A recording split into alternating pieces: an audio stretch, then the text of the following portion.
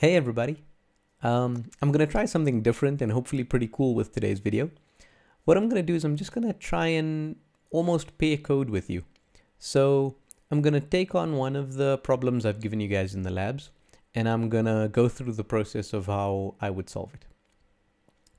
The problem I'm going to pick in this uh, video is the OKHTTP lab that you guys had to do. So basically what I want to do is I want to connect to some website, download the content, and just display it on the screen. Okay. Now, as with any app, the first thing I'm going to do is think about what user interaction um, is necessary. So, you know, do I need edit texts? Do I need buttons? Do I need, you know, labels? What do I need there to be on the screen? Now, this app is quite a simple app. It's just got one function. So all I need the user to do is to trigger that function right? I just need the user to say, okay, go get me the website. So that means on the screen, what I'm going to need is a button. Okay, so I've made a empty activity, and so I've got the activity, I've got the layout. Now, if I'm working in Android Studio, I can just go to this activity main.xml and put a button in there but um, a lot of people may be using the Android alternative that I posted uh, last week, and so they won't have access to these XML files. It doesn't support this sort of XML based layout. So what I'm going to do is I'm going to code this directly using Java, and that'll mean that people using Android alternative will be able to follow along. So the first thing I need to do is I need to create a layout in which I'm going to put all my components. For simplicity, I'm going to use a linear layout and all that does is it lays out the components uh, sequentially. So either one um, under another or one to the right of the other you know so it's it's either horizontal or vertical.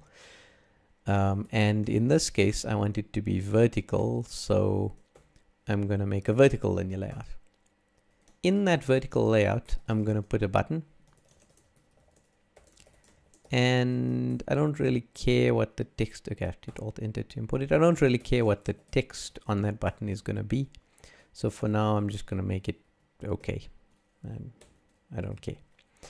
And then what I'm going to do is I'm going to say um, set uh, content view to be L so that that's the layout that appears on the screen and to L I'm going to add B so that um, we can actually see the item on the screen.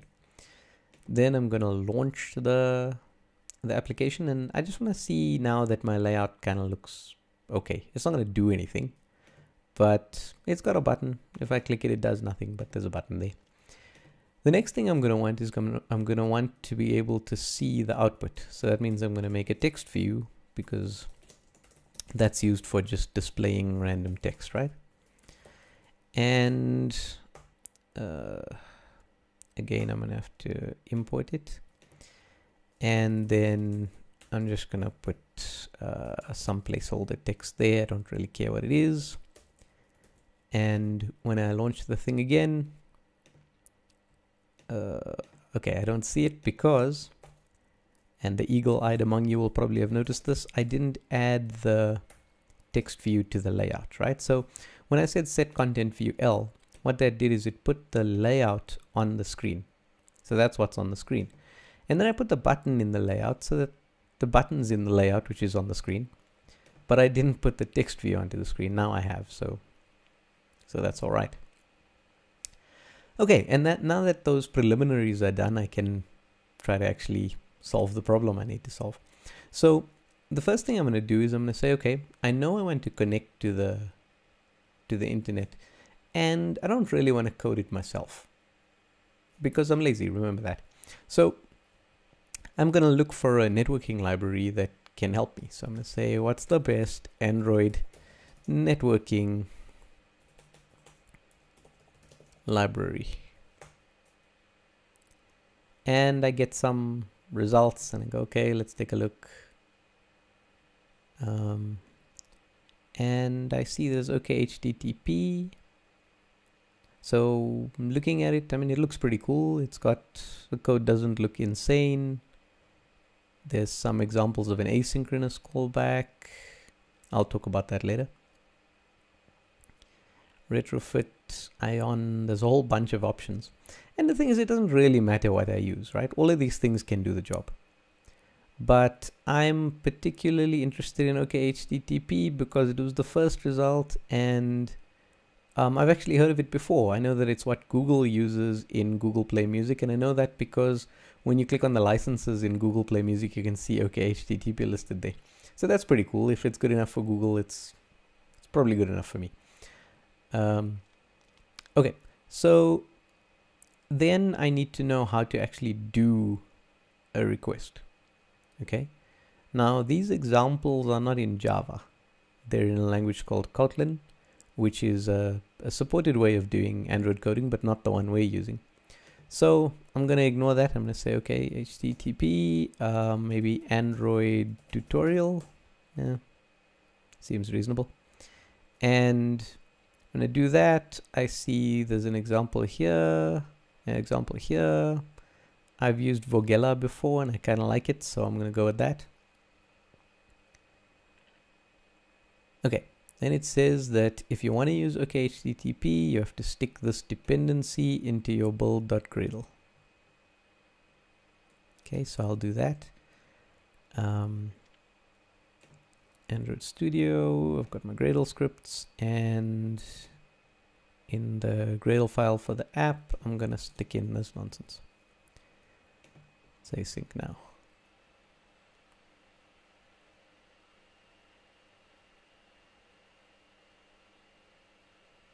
So you'll see what it's doing now is it's downloading OK HTTP.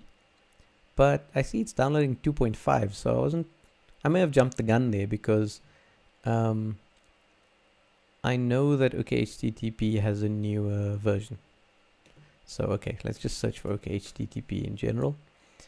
And we'll see that on the page, there's a whole bunch of examples. And it's all pretty good. But I see that they've got a dependency on 4.6 okay. If you're using the Android alternative then don't worry too much about this because the OKHTTP libraries are already um, installed. Okay? So not a big deal. So what I'm gonna do is I'm gonna actually change the the version that's in the build.gradle because it's that other one was just a little too old.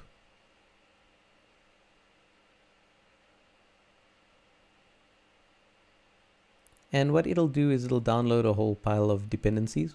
This is one of the nice things about Gradle and if you're using the Android alternative Maven. What they do is that when you say, okay, I'm using H OK HTTP, what they'll do is they'll go, okay, but if you're using OK HTTP, you also need these other five libraries because they're necessary for OKHTTP. And then they'll go and fetch those libraries for you, which is pretty great.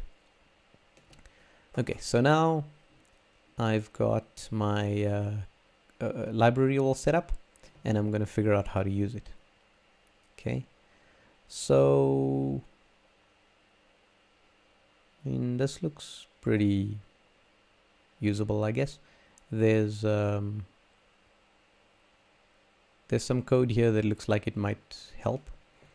Um, and you can see that basically there's an OKHTTP client and I'll just I I just I'm just copying the stuff from the page right? I don't I don't think about it too much.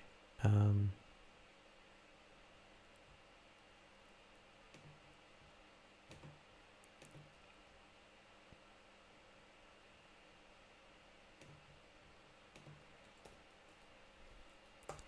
paste it in there, hit Alt Enter a few times so that all of the stuff can get imported.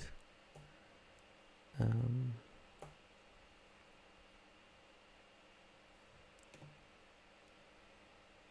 okay, and then this is the URL I want to I want to get the uh, request to to go and download things from. Um, can't actually remember what this was for your lab. So I'm just gonna make it uh, cnn.com because whatever. And um, okay, then there's some things underlined here. So it says, okay, this is an unhandled exception. I'm not allowed to leave this exception unchecked. I have to add a catch clause. So I just, I just do it, uh, whatever. Then it says I can't return a response. And that makes sense because this thing here, I'm not in a method that returns something. I'm just in the onCreate, right? So it doesn't return anything. So all I'm going to do is I'm, I just want to print out the response body for now. Or maybe I should set it to be the contents of the of the text view. So let's say t.setText to response.body.string. Okay, that seems fine to me. Right? Everyone cool with that? If not, pause the video, think about it a bit, come back. So I'm gonna I'm gonna launch it now, and think about what happens now. Um, it's busy building. This tends to take a while. It's installing. It launched. Now it says internet connected has stopped. So then I say, okay, that's fine. I will roll with the punches. Let me look at this thing called the logcat because that will show me what my errors are. Okay, I'm gonna click on error and go and look for some error. Fundamentally, I want to find an error that's mm, that that I, I caused. And um, that's not always straightforward, as you can see. Um, partly that's because I was connected to my phone rather than the um, rather than the emulator. Okay, so now what it's going to do is going to tell me what the problems are. Okay, so I see what's called a network on main thread exception. I'm going, what? I have never heard of such a thing. So I go, okay, network on main thread exception. So you'll notice I, am like, I don't, I don't know anything. I just kind of click on things and stuff works. And I'm like, hmm, that's good. Okay, so let's see what is going on with network on. So this guy got the same thing, android.os.network on main thread exception. And it says the exception is thrown when an application attempts to perform a networking operation on its main thread. Um, and there's a thing about read this blog post. So I could read this entire blog post, um, and in the past I think I have. But basically, what it's going to tell me is that Android doesn't like it when you do network requests on the same thread that the user interface is updated from. Okay, that was quite cryptic. But what it means is, look, Android wants the user to have a nice experience on their uh, on your app. So what it says is, the app should always respond to user input right? Now, under what circumstances won't it respond well to user input? It won't respond well if there's a process that takes really long. And so the user can't, for instance, click on a button. So let's say in your app, you um, have some really intense calculation. Then what's going to happen is while the user is trying to click on a button, the app just won't respond because it's it's too busy doing this intense calculation. Okay, that's one reason. Another reason it could happen is because there's some, it's waiting for something to happen, right? So when you're trying to do some request over the internet, you don't know how long it's going to take. When you say go to cnn.com, you know, maybe the user has a really fast phone and it doesn't take very long to get to cnn.com. But possibly the user has a really slow phone and it takes forever, right? And when that request takes forever, what that's going to do is it's going to it's going to stop the user from doing anything else because the app is too busy trying to get to the network. Okay, so Android has this thing called network on main thread exception because what it's trying to avoid is your app freezing while it waits for network responses.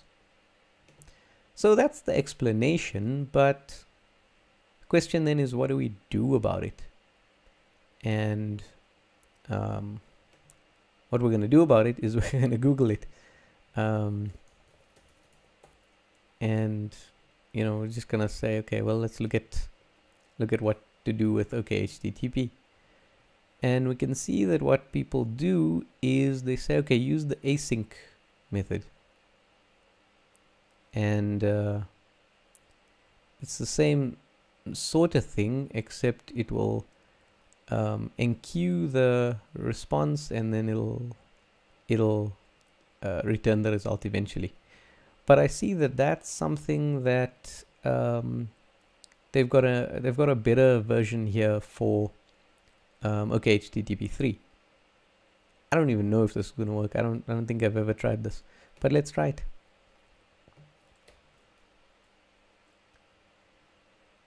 Um, and that means I need to go into Android Studio and paste this thing. Um,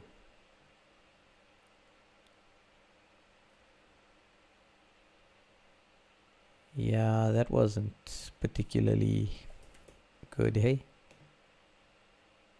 I don't know where this post method comes from. Uh,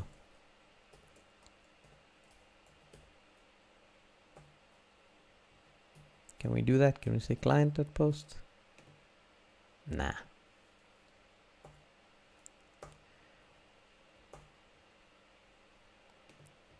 Okay, so I didn't like that response because I didn't understand it.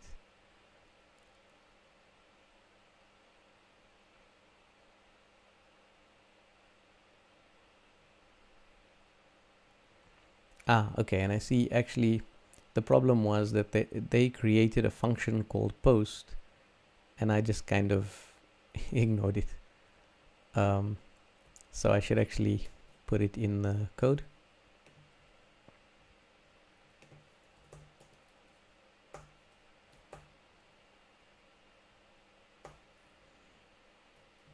Hmm. Okay, that looks like it's a method and so it needs to go in the method portion of the thing. Okay, it tells me it doesn't know what JSON is. Uh, I don't.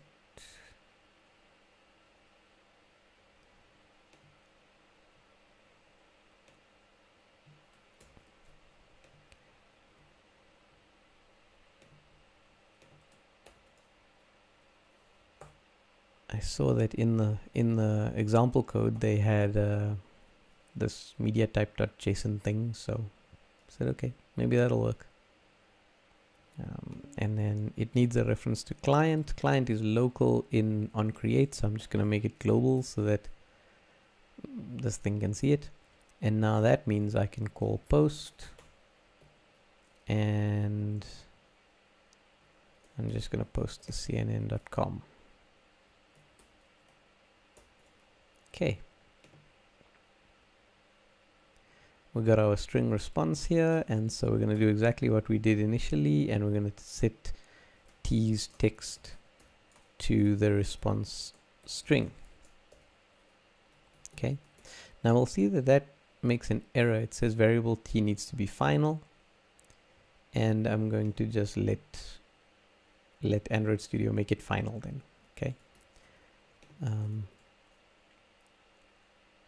then I'm gonna run the thing and I wouldn't be surprised if I get more errors but let's see what happens. I did get more more errors. And the error says permission denied missing internet permission. Okay? As usual I just say I don't really need to know what that is. I just need to have Google so I see that um, some stack overflow, permission denied, missing internet permission, and look for the response. So it might be due to missing a user's permission, Android name, um, uh, internet thing. So if that's not in your Android manifest, then you can't uh, you can't access the internet. So I'll go look at the manifest and I'll stick in that permission. Relaunch. Okay, it's still building, so. and I got another crash, which is just wonderful. Now, this is interesting. So it says only the original thread that created a view hierarchy can touch its views. Does that make any sense to you? Yeah, not to me either. So what do we do? we stick it in the we stick it in the search request and we we click on it and we see what happens. Okay, so it says that the problem is that the only um, thread that's allowed to update the user interface is the user interface thread. So remember we said that in order to stop the um, the program from freezing, we moved the network request into a different thread. Okay, so it wasn't running on the main thread, it's running on a different thread. But that means that this on response, when it says t.setText, it's running it on a different thread. And according to this post, I'm not allowed to run anything on a different thread. Wait, have I explained what a thread is yet? No. Okay, so a thread is basically just like a program that runs on your computer, right? So you may think of an Android app as one program, and it is. In that terminology, it's one program. But what you can do in order to make the program more efficient is you can split it into multiple concurrently running programs or threads, right? So basically what happens is it's kind of like, you know, when you have your computer, you can run Android Studio on one thread, you can run Firefox on another thread, you're running lots of different programs. Now your app itself can run lots of different programs. One of the programs that it's running is the one that updates the user interface, the one that makes the app look like it does. When we did this call asynchronously, right, what that um, did is it made like a separate program to go and do the the network request. Okay. And that program, because it's not the program that did the user interface updates, it's not allowed to update the user interface. Only the original thread that created the user interface so sort of this program, if you think about it, can update the user interface. This program can't. Okay. Did that make a little more sense? I will update a video. I mean, I will upload a video purely on threading.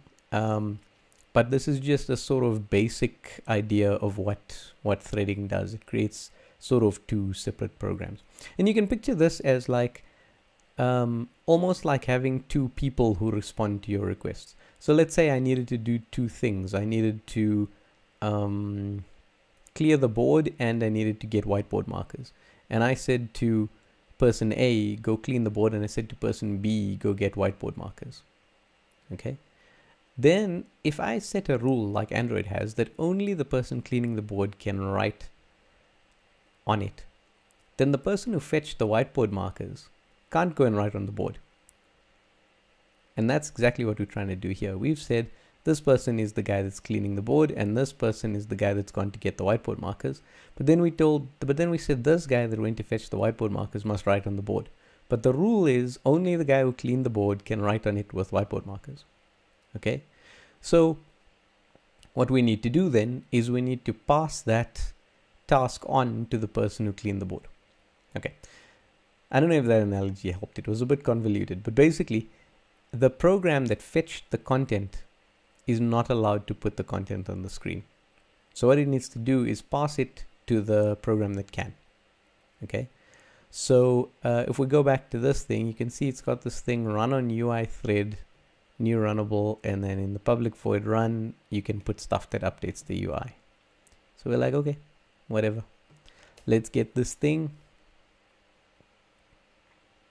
and let's tell it to update the the text view and it'll say that I need to make response to final and I'll just do it and I'll run the thing again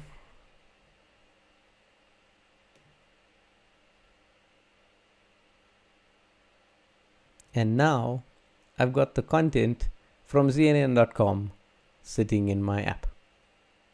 Okay. Um, so you'll note I didn't follow the instructions that were on the Moodle page. And the reason I didn't do that is I wanted to show you guys how I would have approached it from scratch. Okay, so, you know, if, if nobody was giving me instructions and I was just sitting with Google and I'm going, I need to do something here and I'm not really sure how to do it, um, then, you know, this is a good way to to approach it is to just say, look, I'm going to try stuff. Whenever anything fails, I'll look in the logcat which is where my errors show up, and then just Google what comes out. Okay, now um, I'm oversimplifying there because a lot of the reason I could quickly interpret what's going on in the logcat is just because of background knowledge that's um, accumulated over the years. But the point is, you'll accumulate that knowledge, right? You'll accumulate it as you go along, and eventually you'll be able to you'll be able to figure out what's going on with an error message pretty much immediately. Okay, so I wouldn't be too um, too worried about it. Now, the uh, thing I didn't do here is how to add parameters to the request, and I'm not really going to do that. You know that you know in your lab, um, in lab five, I think it is, you want to send a request a, um, a parameter along with the request. Okay, what I mean by that is, let's say you are looking at like DuckDuckGo.com um, that just is the homepage of DuckDuckGo, right? But if I want to actually see a query result, I could say question mark q equals uh, help me or something. And um, then it'll give me a search for help me because I've passed this parameter called help me to the web service. Now in your lab, you have to pass the brand to your script that um, that handles searching for cars. So the uh, process you're going to follow is exactly as before. You're just going to Google or DuckDuckGo is the case maybe, um, how to send parameters, right? So with OKHTTP, I know that I want to send request parameters. Um,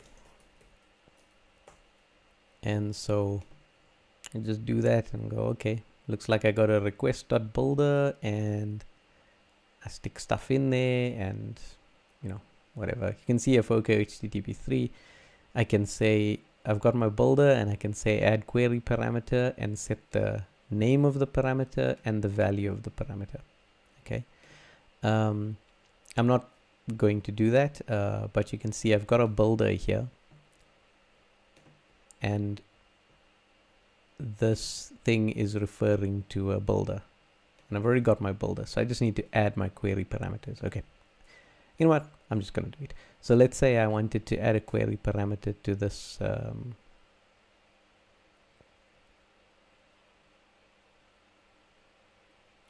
uh, where is this thing? To this thing here I could say like uh, dot add header. Okay in this case I can add a header because it's a post um, request. So I can add a header called like, uh, maybe this one is called Q and the value is, um, I can't even remember what I searched for. Oh, help me. And that'll mean there'll now be a header attached to that, to that request. I'm again oversimplifying. What I've done here is a post request rather than a get request, but yeah, you can Google any part of this that that was problematic or uh, feel free to use the forums. Um, what I have noticed about the forums, which is incredibly cool, is that you guys are fundamentally answering each other's questions. Now, you may have noticed at the top of the video I said um, I'm really lazy. So I really love the fact that you guys are answering each other's questions. I also love the fact that you guys are capable of answering each other's questions, which is which is wonderful. Um, so yeah, anyway, that was the OK HTTP and kind of process um, Uh, video. I'll upload some more videos as we go along.